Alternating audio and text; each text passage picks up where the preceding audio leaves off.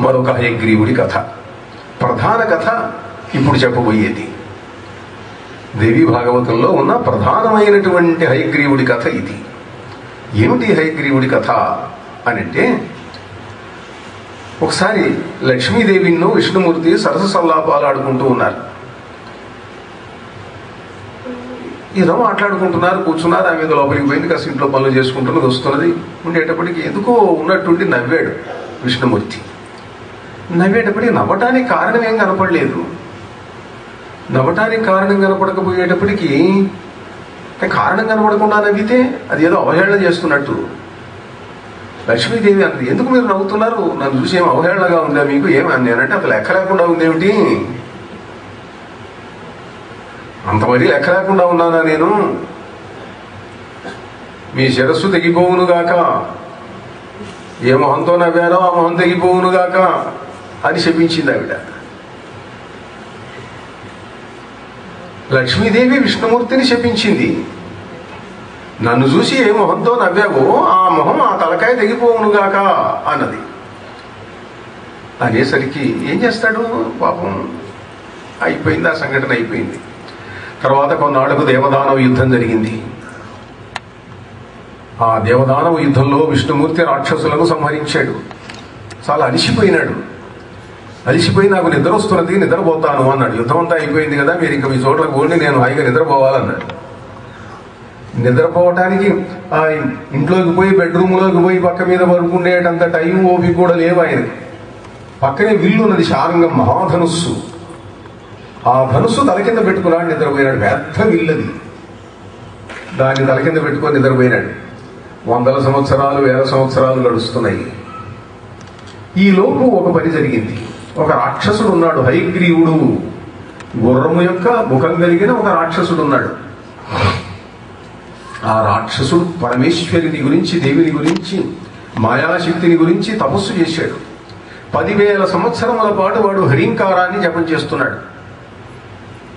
మాయాబీజం హ్రీంకారం. ఆ హ్రీంకారాన్ని పదివేల సంవత్సరాలు జపం చేశాడు వాడు. జపం చేసేటప్పటికి పరమేశ్వరి ప్రత్యక్షమైంది. నాయన ఏం కావాలరా నీకు? అన్నది. అమ్మా నాకు అమరత్వం కావాలి. రాక్షసులందరూ కోరుకుండేది ఇదే. రాక్షసులంతా అమరత్వం కావాలని కోరుకుంటారు. బ్రహ్మో అమ్మవారో శివుడో ఎవరు వచ్చినా సరే ఆ వరం మాత్రం ఇవ్వరు. ఈ సృష్టిలో పుట్టిన ప్రతివాడు గిట్టక తప్పదు. పుట్టిన ప్రతివాడు గిట్టక తప్పదు నాయన. ఇంకేదన్నా వరం కోరుకో. ఇంకేదన్నా వరం కోరుకో. సరే అట్లయితే. నన్ను ఈ సృష్టిలో నా వంటి వాడు ఎవడైనా ఉన్నాడా? ఎవడూ లేడు. నువ్వు ఒక్కడివే హైగ్రీవుడివి హైగ్రీవుని చేతిలో తప్ప నాకు ఇంకెవరి చేతుల్లో మరణం లేకుండునుగాక. తథాస్తు అన్నది అమ్మవారు ఇప్పుడు వాడు ఆలోచన చేశాడు ఇంకా. దేవతలను జయించాడు. అందరినీ జయించాడు. అన్ని లోకాలు జయించాడు. సర్వ విజేత విశ్వ విజేత అయినాడు. విశ్వ విజేత అయిన తర్వాత వాడికి ఒక ఆలోచన వచ్చింది. రాక్షసులలో చాలా చిత్రమైనటువంటి వాళ్ళు ఉన్నారు. ఏమిటంటే మా జాతి తప్ప ఇంకో జాతి ఈ ప్రపంచంలో ఉండకూడదు. సమస్త ప్రపంచాన్ని మేమే ఎప్పుడూ పరిపాలిస్తూ ఉండాలి. వీలయ్యేటట్టయితే మా జాతి తప్ప ఇంకో జాతులు ఇతర జాతులన్నీ నశించిపోవాలి. మా జాతి తప్ప ఇతర జాతులు నశించిపోవాలా? మేము తప్ప ఇంకెవరు ఉండడానికి వీల్లేదు. సమస్తము మేమే పరిపాలించాలి. అన్ని ఐశ్వర్యములు మాకి అన్ని భోగములు మాకి. మిగతా వాళ్ళందరూ ఉంటే మాకు సేవకులుగా ఉండాలి. అసలు ఉండకుండా ఉంటే మరీ మంచిది.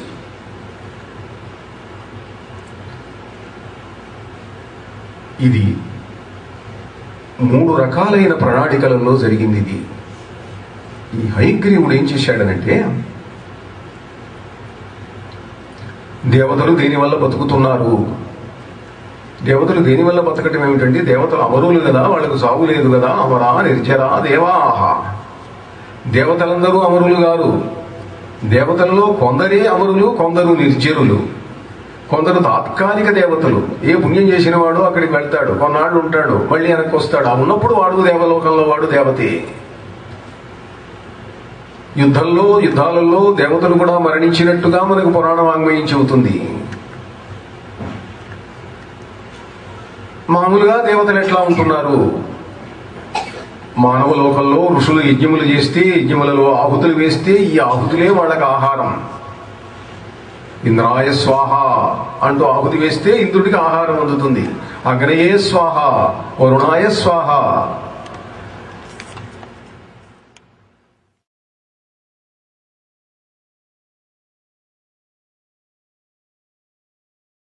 విశ్వామిత్రుడు రామచంద్రుడిని పిలిపించుకున్నది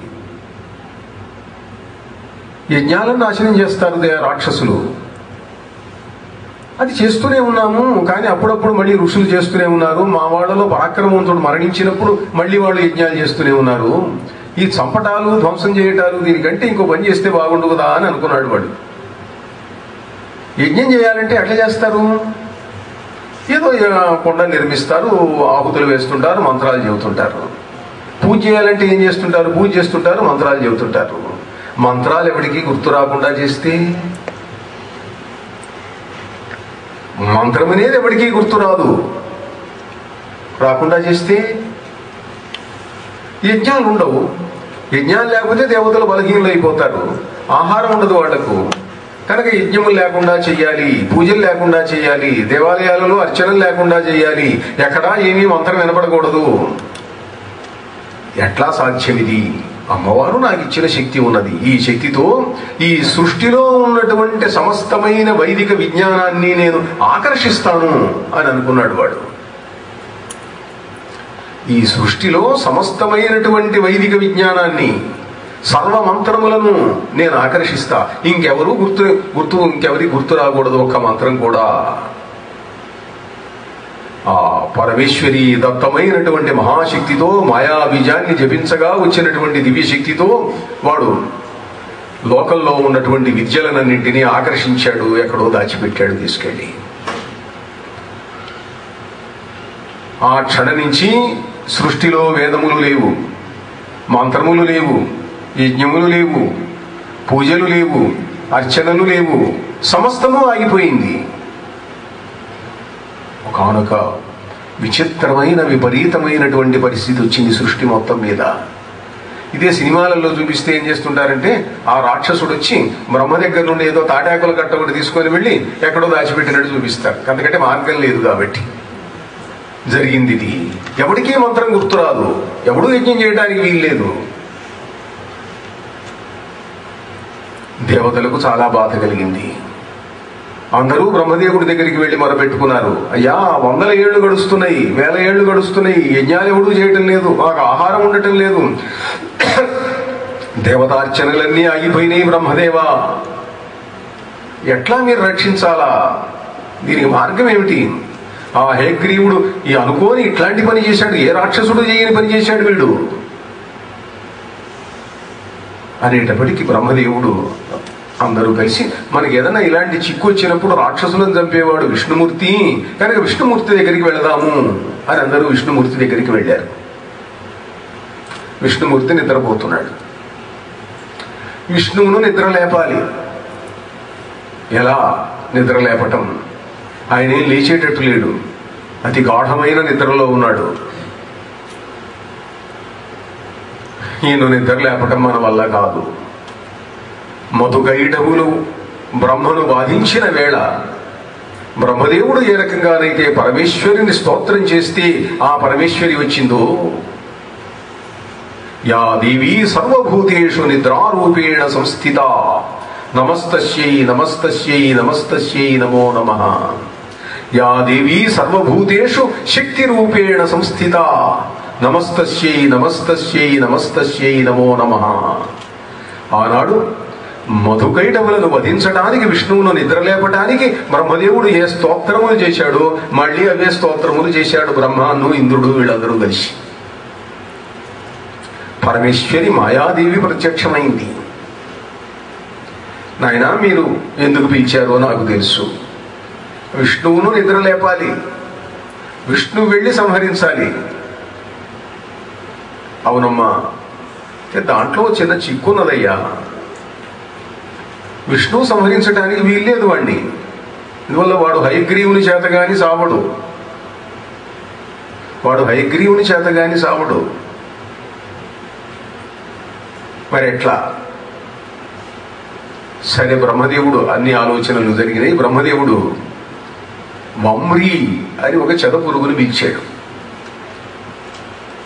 చెద పురుగును పిలిచాడు. ఓ మమ్రీ ఈ శారంగమునకు నారి ఉన్నది కదా. ఈ నారిని నువ్వు కొరికి చెద పురుగులో దేని పెడితే దాన్ని కొరికేయగలవు తినేయగలవు? గలవు కదా. మామూలుగా ఇక్కడంటే మీరు బహుశా చెద పురుగులు ఎరగరేమో మరి ఇక్కడ ఈ దేశంలో కూడా ఉన్నాయో లేవో కానీ భారతదేశంలో కావలసిన ఉన్నాయి. చెద పురుగులు తినటం మొదలు పెడితే దాన్ని ఆపటం కష్టం. ఎందుకంటే చెద పురుగు ఉన్న చోట ఆ పురుగులు మాత్రమే కాదు. ఎక్కడో దూరాన అడుగున నేలలో చాలా లోతు తవ్వితే ఇంతంతలా గుడ్లు ఉంటాయి వాటికి. వాటిని చంపితే గాని ఈ చెదపురుగుల పుట్టుక ఆగదు. అది చాలా మందికి తెలియదు. చెదపురుగులను చంపేస్తారు అక్కడ ఏదో మందు పూస్తారు ఏదో పోస్తారు. కానీ నాలుగు రోజులు అయిన తర్వాత మళ్ళీ చెదపురుగు వస్తుంది. ఆ అసలు చోటు కనుక్కోవాలి. అది కొంచెం కష్టం కనుక్కోవటం. అంటేను ఈ వమ్రిని అడిగాడు బ్రహ్మ. నువ్వు ఆ నారిని కొరుకు వింటి నారిని కొరికేసేయి. కొరికేస్తే ఆ బాగా బలంగా బిగించి ఉన్నటువంటి నారి ఆ వింటికి శారంగాడి ఉన్నది అది తెగిపోతుంది. తెగిపోతే వీళ్ళేమో సరాసరి సూటిగా విచ్చుకుంటుంది. ఆ కదలికకు విష్ణువు నిద్రలేస్తాడు మేమెవరం లేపినట్టు ఉండదు ఎందుకంటే ఎవరు లేపితే వాడిని ఏం తిడతాడో? ఏం శపిస్తాడో? కనుక నువ్వు ఈ ఉపకారం చెయ్యి అన్నాడు బ్రహ్మ. ఇక్కడ సంగతి నేను నాకంత తెలియదు కానీ భారతదేశంలో మీకు ఏదైనా ఒక చోట పని కావాలనుకోండి ఆఫీస్కి వెళ్ళారు యా నాకు ఈ పని చేసి పెట్టు అంటే బల్ల కింద చేయి పెడతాడు నాకేమిస్తావు? పైనుంచి పెడితే అఫీషియల్గా ఇచ్చేది కింది నుంచి. అందుకే బల్ల కింద చేయి పెడతారు అన్న సామెత వచ్చింది. ఆ వంబరి అన్నది ఏం మీకు పని చేసి పెడితే నాకేమిటి అన్నది నాకేమిటి? నాకు అన్నది. అంటే మరి ఏం చేస్తాడు పాపం? బ్రహ్మదేవుడు కూడా ఆలోచించి సరే ఏం ఈ రోజుల్లో ఎవరికి మాత్రం డబ్బులు ఇవ్వకపోతే పనులు చేస్తారా? సరే కానీ నీకు నేను ఉపకారం చేస్తాను అన్నాడు. ఏమిటంటే యజ్ఞములు చేస్తుంటారు ఋషులంతా ఆశ్రమాలలో. ఆహుతులు వేస్తుంటారు. ఆ ఆహుతులు వేస్తూ ఉన్నప్పుడు ఆ, శృ- శృవంతో ఆహుతి తీసుకుంటారు. శృక్కు స్రవము రెండు ఉంటాయి. శృక్ అంటే పెద్ద గరిటె స్రవం అంటే చిన్న గరిటె. సండ్ర కొయ్యతో చేస్తారు వాటిని.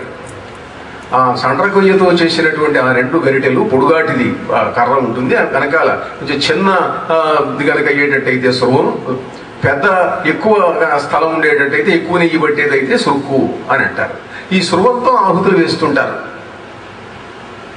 ఈ ఆహుతులు వేసేటప్పుడు కొండల్లో వేస్తుంటారు కదా ఇక్కడి నుంచి తీసి ఇలా వేస్తుంటారు. ఆ వేసేటప్పుడు నేతి చుక్కలు నాలుగు ఈ మేకల మీద పడతాయి. చుట్టూ ఉండే ఇటుకలను పెట్టుకొని చేస్తుంటారు. పర్మనెంట్గా చేయదలుచుకునేటట్టయితే జాగ్రత్తగా దాన్ని మేకలలు మూడు మెట్లు కట్టాలి. యజ్ఞ యజ్ఞకుండానికి మూడు మెట్లు కట్టాలి. ఆ మూడు మెట్లు కట్టి దానికి రంగులు వెయ్యాలి సత్వ రజస్ తమో గుణాలు. సత్వగుణం తెలుపు రజోగుణం ఎరుపు.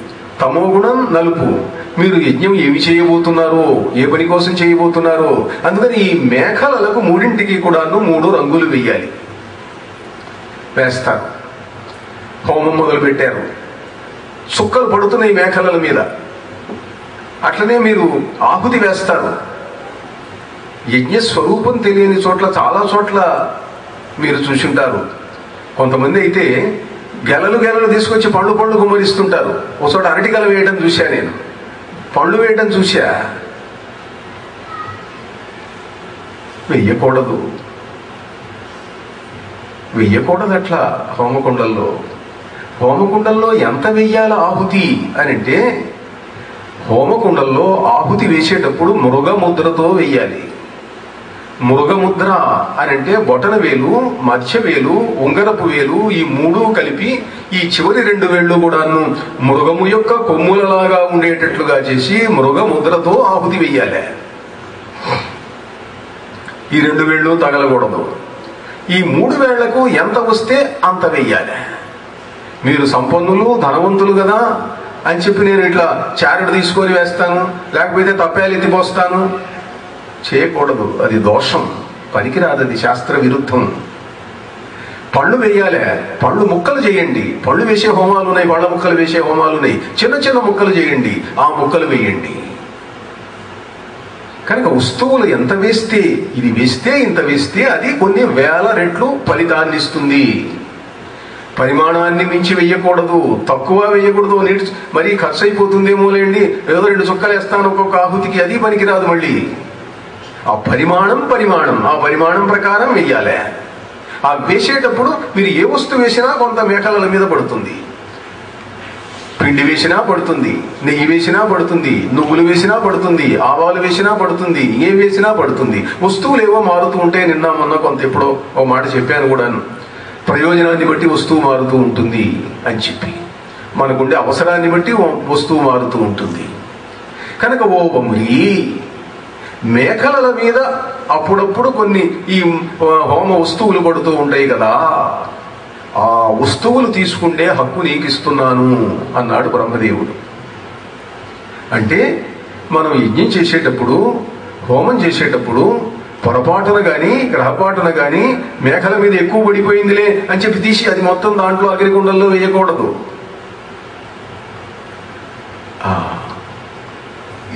ఈ వరాన్ని వమ్రికి ఇచ్చాడు బ్రహ్మ.